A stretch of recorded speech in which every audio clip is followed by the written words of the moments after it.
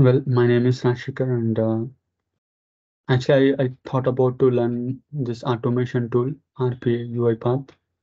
So at the time, at the moment when I contact with Vajrang, so I asked him to like uh, have to uh, I'm supposed to join in projects, but he's uh, he said that I'm not fit at projects because I don't even know uh, about this basics. So he suggested me for basics.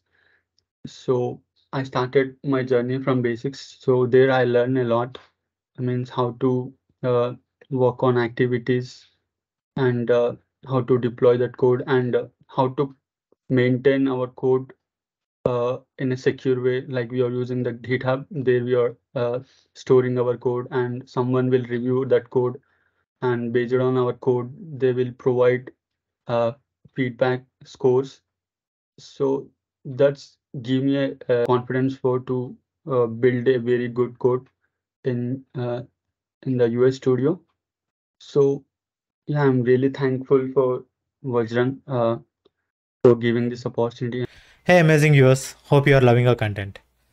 If you haven't subscribed yet, hit that subscribe button right now.